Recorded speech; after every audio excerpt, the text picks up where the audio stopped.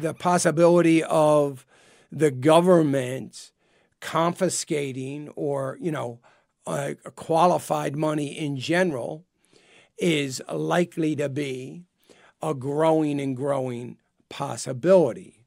Remember, we have a Biden administration that was part of the Obama administration uh, that is mimicking right now almost um, perfect, uh, perfectly the Obama economic policies. So we're going to start to see that inner city unemployment go up dramatically. Uh, we're going to get it back to where it was under the Obama administration minority unemployment, Hispanic unemployment, uh, Asian unemployment, and black unemployment is likely to continue to rise over the next uh, several years. They are spending money, if it is even possible, because of the pandemic. That's a great excuse. But with that pandemic aid or money, they're spending a lot of it on things totally unrelated to the pandemic, and they're going to continue to do that. So we're getting in more and more debt. There's $20 trillion or so sitting out there in qualified money. That would mean TSPs, 401ks, IRAs, Roth, SEP plans, 403bs, on and on it goes. Anything that they regulate that is qualified for certain tax advantages, those tax advantages come from the federal government so they can control those. One of the things in general that I am concerned about, in general, is we can almost count on capital gains going up.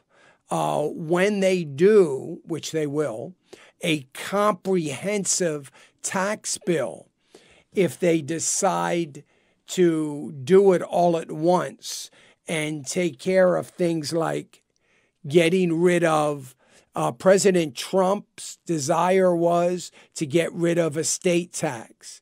He had a deep appreciation for our farmers, our ranchers, our hardworking uh, people out in the heartland of the country. And he didn't want estate tax. He did away with it for all practical purposes. That will come roar, roaring back in a very strong and powerful way to the likes of which we haven't seen ever, in all likelihood capital gains tax, that is considered to be a punishment on the rich. Well, they love to punish the rich. So the, the you know the the rich through capital gains tax are going to have to uh, pay for that. Now, if nothing else, they will will threaten capital gains tax going up so they can get a panic selling going on. Not really panic because it's not going to have to happen all at once, but people are going to start selling in anticipation of that that have highly appreciated assets.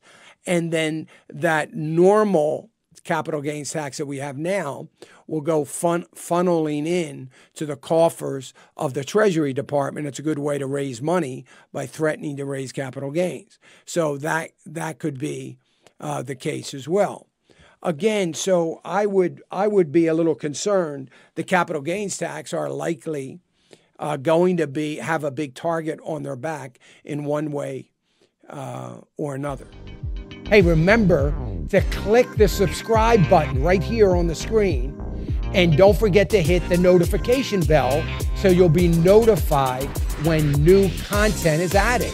And more importantly than anything, you don't want to miss all three live hours of financial issues every day from 9 to noon. And you can watch it on FISM.tv. That's FISM.tv.